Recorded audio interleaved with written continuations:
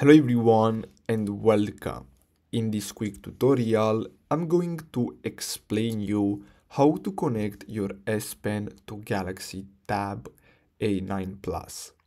So basically what you're gonna have to do is simply pair the S Pen to your tablet. So you can do that by simply enabling the Bluetooth on your uh, Galaxy Tab and then simply press the pairing button on the S Pen and that's it.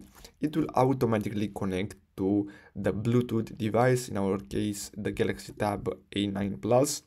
And after that, you're gonna be able to use all the features available. Now, as you can see, they have uh, the some AI features, some uh, text features, so you can basically use them as uh, handwriting. So you can handwrite on your tablet, and it will automatically enter the text, and much more.